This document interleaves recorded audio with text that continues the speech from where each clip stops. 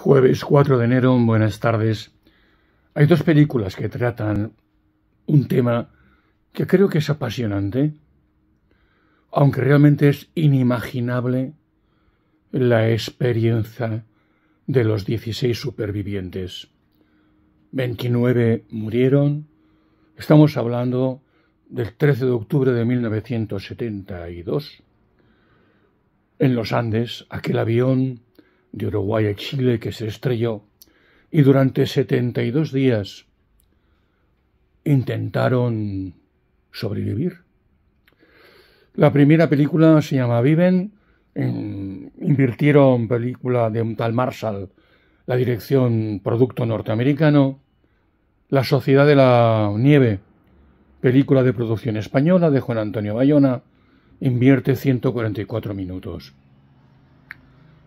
Hay también un documental sobre, sobre la tragedia de, de los Andes y realmente es lo que interesa, para mi gusto. Cómo en circunstancias inimaginables, con las creencias de cada cual, del tipo que sean, puedes llegar a sobrevivir y también a saber morir en un momento determinado, sobre todo cuando eres consciente del proceso que tienes en tu cuerpo en aquel momento, ¿no? Fruto de las circunstancias. También es muy interesante, pero es inimaginable el tema de la antropofagia. El tema de la fe, o el tema del agnosticismo, o del ateísmo. Es igual. La naturaleza, la nieve, las cordilleras, los picos de montaña de los Andes, aquella especie de océano de nieves y de picos elevadísimos, y las circunstancias de aquella gente.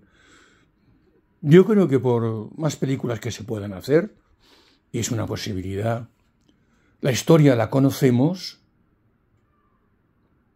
en su esencia, pero las vivencias difícilmente las podremos llegar a más que comprender, captar, simplemente captar.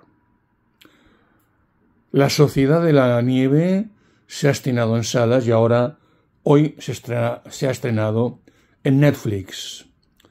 Para algo me sirve de vez en cuando esta plataforma, que no voy a poner ningún sustantivo ni calificativo. Gracias por la paciencia siempre.